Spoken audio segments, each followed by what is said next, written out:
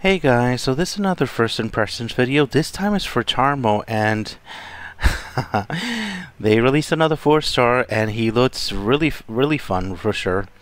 So uh, this is something that I've noticed. Uh, check out his voice.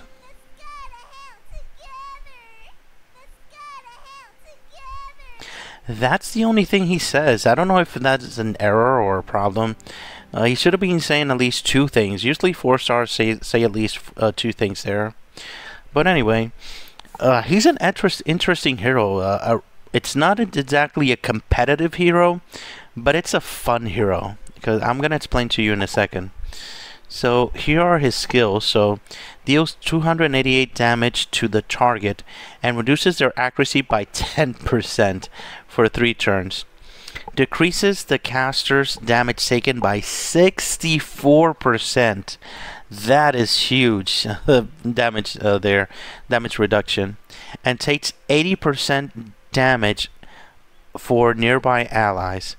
Uh, lasts for 3 turns. So this is going to be pretty fun. I'm going to explain to a second. The only thing is that's going to be a defense team. This is definitely thought about for defense teams, but it's a it's you can actually make an other team around this. I'm to explain that a little bit in a second, but let's talk about his awakenings here. Uh, so his plus one increases defense by 15% for two turns when taking damage. This effect can stack. This is nice, but it's not too crazy.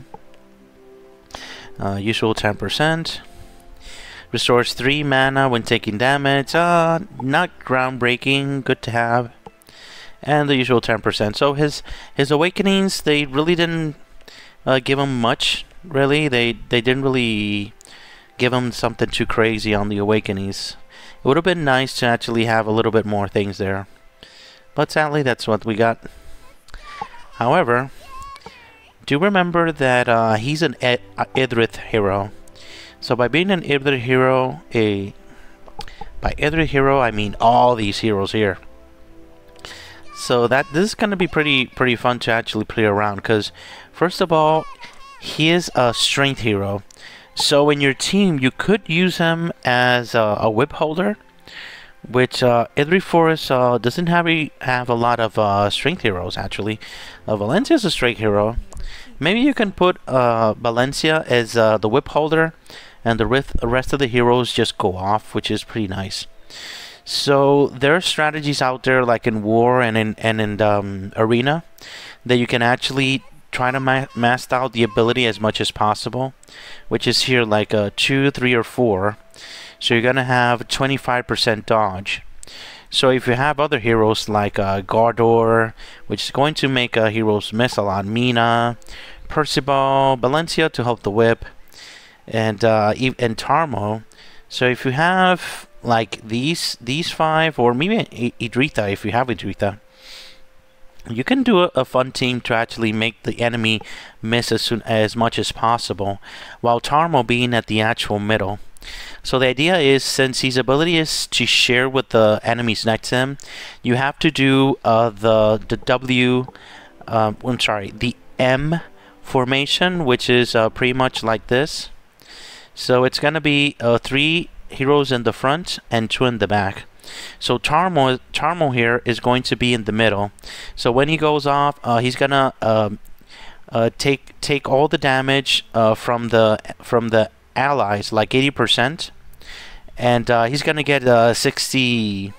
What was it? 64. Yeah, 64% damage taken. So that's gonna be pretty fun to actually see. So if you have Percy right next to him, that's going to be really funny. Because he's going to make people miss a lot and he has crazy dodge. And uh, maybe Gardo on the other side, he's going to make people miss a lot. So yeah, it, Tarmo, is not going to be super competitive like in War and things like that. But you can do a fun uh, Idrith team for Arena maybe. And play around with him. So he, he's going to help the, the entire team survive more and uh, it, it could be interesting. Could be interesting for sure.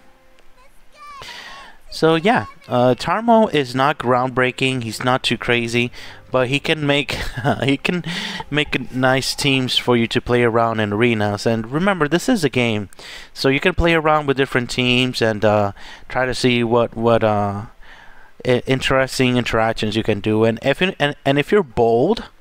You can do it in arena. Um, I'm sorry, in war as well, because now in, in in war you may need to have two teams, or even three teams if you're in a high level guild. So maybe your second or third team could have Tarmo in it and make people scratch their he heads by missing and dodging so much, you know. So yeah, guys, uh, first of all, you you gotta have fun with this game. It is a game after all. All right. Thank you very much for watching, guys. Have a great day. Bye-bye.